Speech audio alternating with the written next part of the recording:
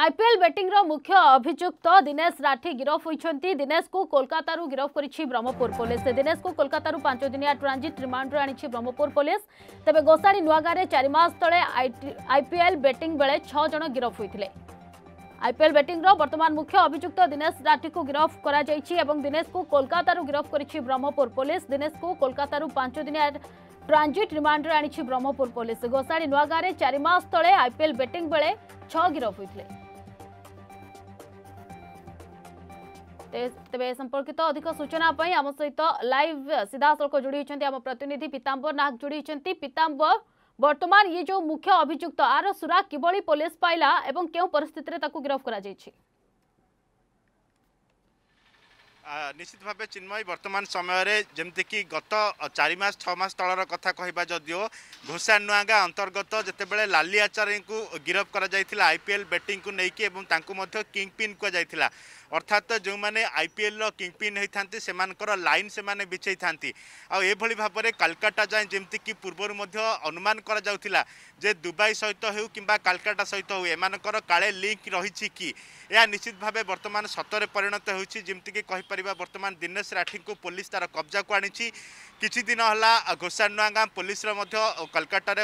ପଇଁତରା ମାରୁଥିଲେ। ଗୋଟେ ସ୍ୱତନ୍ତ୍ର ଟିମ୍ ଗଠନ ହୋଇଥିଲା। ଯେତେବେଳେ ଦିନେଶ ରାଠି କଥା କହିବା ଯେତେବେଳେ ପୂର୍ବରୁ ଚାରି ମାସ ଛଅ ମାସ ତଳୁ ଘୋଷାନୁଆ ଗାଁ ପୋଲିସ ଛଅ ଜଣଙ୍କୁ ଗିରଫ କରିଥିଲା। ସେ ଭିତରେ ଲାଲି ଆଚାରୀ ମଧ୍ୟ ରହିଥିଲା ଯିଏ ଯାହାକି ଯିଏକି ଲକ୍ଷ ଲକ୍ଷ ଟଙ୍କା କୋଟି କୋଟି ଟଙ୍କାର ଆଇପିଏଲ୍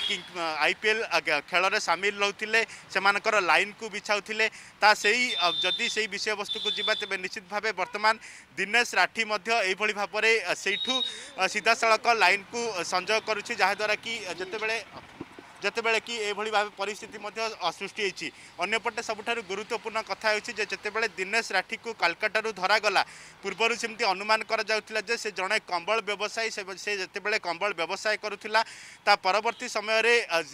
ପୋଲିସର ଯେତେବେଳେ ତନାଘନା ଜାରି ରହିଥିଲା ସେଠୁ ସିଏ ଆଇପିଏଲ୍ ବେଟିଂର ଯେମିତିକି ଖେଳ ରହିଛି ସେହି ଖେଳକୁ କାୟା ବିସ୍ତାର କରିଥିଲା ପୁରା ଦକ୍ଷିଣ ଓଡ଼ିଶାକୁ କାୟା ବିସ୍ତାର କରିଥିଲା ଏମିତିକି ତାର ଲାଲି ଆଚାରୀ ସହିତ ମଧ୍ୟ ସମ୍ପୃକ୍ତି ରହିଛି ଦୁହିଁକୁ ଯେତେବେଳେ ପାଞ୍ଚ ଦିନିଆ ଟ୍ରାଞ୍ଜିଟ୍ ରିମାଣ୍ଡରେ ବ୍ରହ୍ମପୁର ପୋଲିସ ଆଣୁଛି ଆଜି ଲାଲି ଆଚାରୀଙ୍କୁ ବ୍ରହ୍ମପୁର ଏସ୍ପି ଅଫିସକୁ ଅଣା ଆଜି ଦିନେଶ ରାଠିଙ୍କୁ ବ୍ରହ୍ମପୁର ଏସ୍ପି ଅଫିସକୁ ଅଣାଯିବ ଏବଂ ଆଣିସାରିଲା ପରେ ସାମ୍ବାଦିକ ସମ୍ମିଳନୀ କରିବାର ମଧ୍ୟ କାର୍ଯ୍ୟକ୍ରମ ରହିଛି ବ୍ରହ୍ମପୁର ପୋଲିସର। ତା ପରବର୍ତ୍ତୀ ସମୟରେ ଉଭୟ ଲାଲି ଆଚାରୀ ଏବଂ ଦିନେଶ ରାଠିଙ୍କୁ ମଧ୍ୟ ଉଭୟକୁ ରଖିକି ପଚରା ଉଚରା କରିବାର ମଧ୍ୟ କାର୍ଯ୍ୟକ୍ରମ ରଖିଥିବା ଗୋଟେ ପ୍ରକାର ବିଶେଷ ସୂତ୍ରରୁ ସୂଚନା ମିଳୁଛି। ଅନ୍ୟପଟେ ଏମାନଙ୍କର ଯେମିତିକି ଖେଳର କାୟା ବିସ୍ତାର କଥା କହିବା କାଲକାଟା লাଗାতার রহিকি এমানে যেতবে খেলকু লগাউলে আিছিদিন পরে যদিও আইপিএল আরম্ভ হচ্ছে স্টার্ট হচ্ছে তাকে নিয়ে সে ব্লু প্রিন্ট প্রস্তুত হয়ে সারি এমতিকি আউ গোটিয়ে গুরুত্বপূর্ণ কথা হচ্ছে যেতবে লালি আচারি গিরফ হয়েছিল তা পরবর্তী সময়ের চারি পাঁচ জন সেই লাইনর বেটিং যে লোক সঞ্জয়ীকরণ করুলে সে যেতবে গিরফ হয়েছে তা পরবর্তী সময়ের দিনেশ রাঠি বেল আবেদন করেছিল কিন্তু এই ভিতরে যেতবে বেল কোর্ট দেওয়া ভিতরে বা সেই মধ্যে ପୋଲିସ ତାକୁ ପଞ୍ଝାକୁ ଆଣିଛି ଏବଂ ପୋଲିସ ତାକୁ ଗିରଫ କରିଛି। ଆଜି ବ୍ରହ୍ମପୁର ପୋଲିସ ବ୍ରହ୍ମପୁରକୁ ଆଣିବାର ପୁରା କାର୍ଯ୍ୟକ୍ରମ ରହିଛି। ତା ପରବର୍ତ୍ତୀ ସମୟରେ ସବୁକିଛି ଜଣାପଡ଼ିବ ଯେ ଦିନେଶ ରାଠି ଭଳିଆ କିଙ୍ଗ ପିନ୍ ଆଉ କେତେ ରହିଛନ୍ତି ଏମାନଙ୍କର ଦୁବାଇ ସହିତ ଆଉ କ'ଣ ଲିଙ୍କ ରହିଛି କି ନା କାଲକାଟାରେ ସୀମିତ ରହିଛି। ଦକ୍ଷିଣ ଓଡ଼ିଶାର ସାତରୁ ଆଠଟି ଜିଲ୍ଲା ବିଶେଷ କରିକି ବ୍ରହ୍ମପୁର ସହର କଥା କହିବା ରେଶମ ସହରର ବ୍ୟବସାୟିକ ସହରର ବ୍ୟବସାୟୀମାନଙ୍କୁ ଏଇଭଳି ଭାବରେ ଆଇପିଏଲ୍ ବୁକିକୁ ନେଇକି କେମିତି ଧରପଗଡ଼ କରୁଛି ତାହା ମଧ୍ୟ ବର୍ତ୍ତମାନ ବ୍ରହ୍ମପୁର ପୋଲିସ ପାଇଁ ଗୋଟିଏ ପଟେ ବଡ଼ ଚ୍ୟାଲେଞ୍ଜ ରହିଛି ଅନ୍ୟପଟେ ଦିନେଶ ରାଠିର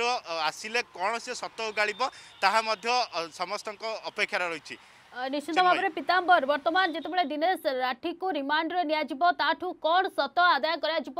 एवं पुलिस को आउ कौन सुराग मिल कारण केवल ये छज एवं जदि देखा दिनेश, बर्तमान दिनेश राठी जो गिरफ्त होती ना आम सहित मुख्य कारपटदार कौ मैंने अच्छा से मानकर